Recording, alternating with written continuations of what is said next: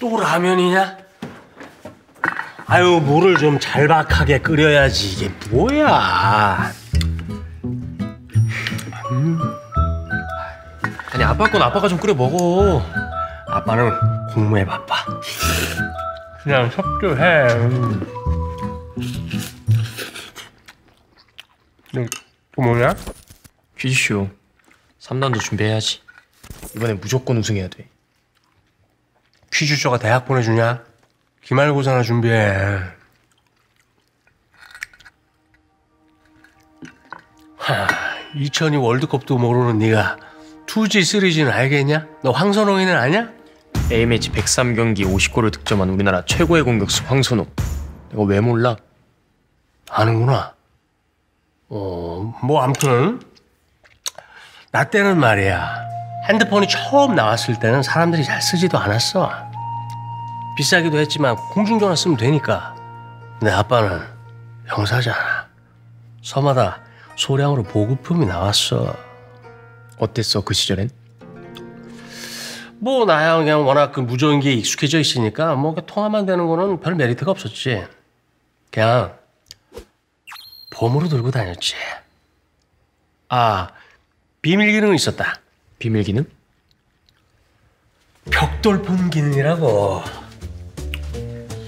범인을 검거할 때 말이야. 급하잖아. 이거를 던져. 그럼 얘가 가다 땡. 얘가 쓰러져. 그러면 가가지고 수갑을 채워. 그럼 체포 끝. 아, 벽돌폰 기능 대단했지. 난 또 뭐라고? 원지는 아날로그 음성 통화의 시대였구나. 그게 원주냐? 아 따지고 보면 그럴 수도 있겠네. 아 이렇게 보면 우리 아들 제법 똘똘한데 말이야. 됐고 그 다음엔 다음에 문자. 이게 또 획기적이었던 게 말이야. 범인을 검거할 때 말이야. 통화를 하거나 무전을 하면 범인이 너 눈치챈다 너. 이럴 때 아닌 것처럼 문자를 하면서 슬그머니 슬그머니 슬그머니 나가서 쫙 잡아채는 거지. 체포 끝. 투지는 디지털 문자 메시지의 시대? 그 다음이 완전 대박인데. 이제부터는 우리 대한민국 형사들한테도 글로벌 시대가 열린 거지. 로밍이 되지 않냐. 해외를 툰 놈들 바로 잡아오는데 요긴 했지. 아 그리고 그때부터 영상통화가 시작돼가지고 실시간으로 몽따주 확인이 가능했어. 그럼 3G는 글로벌 로밍과 영상 통화의 시대? 그 다음부터 뭐 4G니 LTE니 나와가지고 뭐 3G보다 10배 빠르다고 떠들어대는데 다 장사 속인 것 같아갖고 버텼지 근데 어느 날 잠복근무를 하고 있는데 김 형사가 폰으로 야구 중계를 보고 있는 거야? 내 거 느려 터져갖고 안 되는데 아니 근데 근무 중에 이래도 돼? 형사는 말이야 눈이 네 개, 여섯 개야 잠깐 잠깐 이게 폰을 보더라도 사방팔방 항상 예리하게 주시하고 있지. 아무튼 그래서. 그래서는 무슨 그래서야. 바로 다음날 가서 폰 바꿨지 4G로. 4G 10배 이상 빨라진 속도의 동영상 스트리밍 가능한 시대? 오케이. 접수 완료. 그럼 5G는? 난 4G인데? 5G는 모르지. 남들은 몰라도 난 안 가본 세상인데? 아 아빠 보지구나.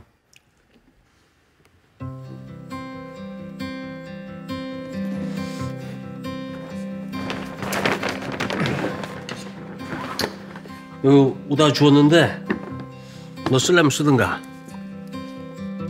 라면 잘 먹었다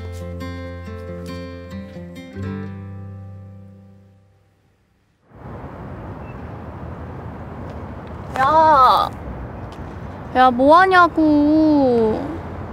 아, 여기까지 와서 계속, 어? 쏘리. 다 됐어, 끝. 5G를 좀 더 알고 싶었거든. 너랑 나랑 5G 쓰잖아. 근데 뭘 더 알아? 그냥 쓰는 거지. 5G가 뭔데? 어?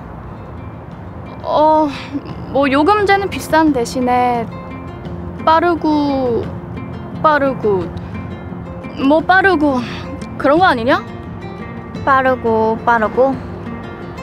뭐 틀린 말은 아니지. 네 말대로 뿌지보다 속도나 반응이 빨라서 더 많은 사람, 더 많은 기계와 접속할 수 있으니까. 그게 요즘 말하는 삼초 시대지. 초고속, 초연결, 초저지연. 야, 딴 건 다 알아듣겠는데 초저지어는 뭔 말? 포지폰으로 스포츠 생중계 같은 거 보면 우리가 보는 화면은 실제 경기보다 살짝 느리거든.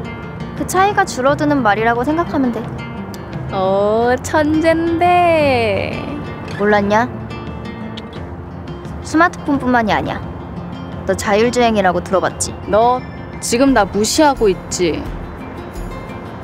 자율주행에는 주변 사물에 대한 즉각적이고 동시적인 반응과 의사결정이 필요해. 버퍼링이 조금만 생겨도 사고가 날 수 있으니까. 결국 5G는 필수란 얘기지. 뭐 나도 물론 방금 알아낸 거지만 가만.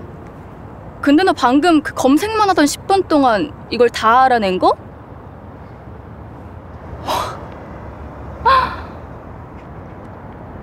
엄마.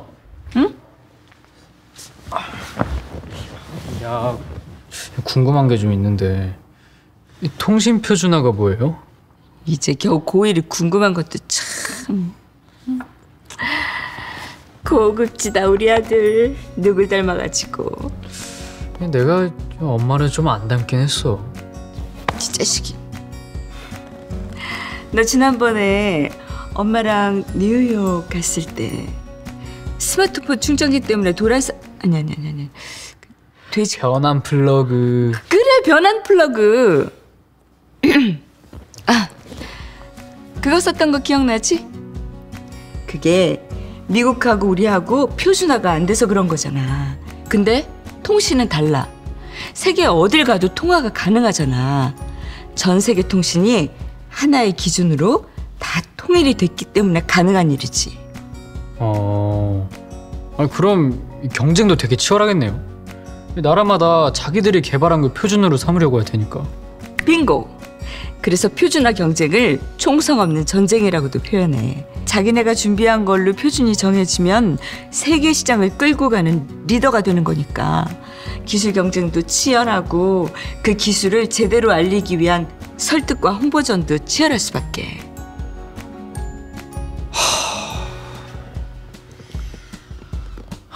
진짜 어딜 가든 경쟁이구나. 경쟁이야. 치열한 경쟁이 펼쳐지고 있는 슈퍼 스마트 퀴즈 쇼 결승 3라운드입니다. 첫 번째 문제를 맞힌 센서 양이 70점, 두 번째 문제를 맞힌 레이 군이 80점을 획득한 가운데 마지막 문제를 남기고 네투 군이 3라운드 탈락 위기에 처해 있는데요. 아, 개인적으로는 이번 문제를 네투 군이 꼭 맞춰서 세 분 모두 나란히 4라운드에 진출하는 모습이 보고 싶은데 말이죠. 하지만 정정당당한 승부의 세계에 양보란 있을 수 없겠죠. 90점이 걸린 마지막 문제 나갑니다. 앞으로는 5G 시대를 넘어 6G 시대가 우리 앞에 펼쳐지게 됩니다. 전송 속도가 5G의 50배 빨라진 6G가 실용화되면 지금은 경험할 수 없었던 새로운 시대가 열리게 됩니다. 그 중에는 디지털 복제라는 개념도 포함됩니다.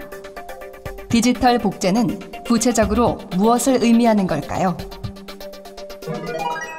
네, 점수 획득이 절실한 네트군이 먼저 부저를 눌렀습니다. 만약 오답을 말할 경우 여기서 바로 탈락할 수도 있습니다. 네트군, 정답은요? 디지털 복제는 우리가 살고 있는 공간이나 사물 같은 실체를 가상세계에 복제하는 것입니다. 시간과 장소 상관없이 원격으로 로봇이나 공장 장비를 관찰하거나 문제점을 찾아낼 수 있는 거죠. 자, 네트군 정답입니다. 야, 놀랍습니다. 어, 이번 퀴즈쇼 당락이 걸려 있는 상황에서 상당히 심리적 압박이 있었을 텐데, 어, 네트군 정말 대단합니다. 떨어지면 아버지 말씀대로 기말고사 하나 준비하자 생각했어요. 사실 특별한 이유가 생겨서 떨어지긴 싫었지만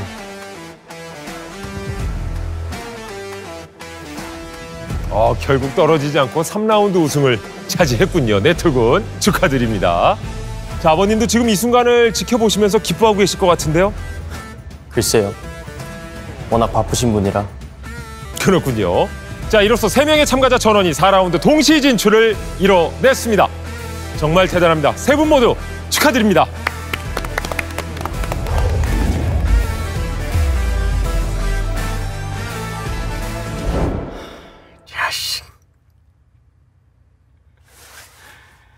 형님, 그래 임마. 우승이야 우승. 내 아들이 전 국민이 보는 퀴즈쇼에서 우승을 했어. 4라운드 진출. 아니 그게 아니라 저기 저런 몽타주가 황칠순이 맞는 것 같은데요? 내가 말했잖아. 예? 언제? 형사는 눈이 네 개 아니 여섯 개라고. 예? い。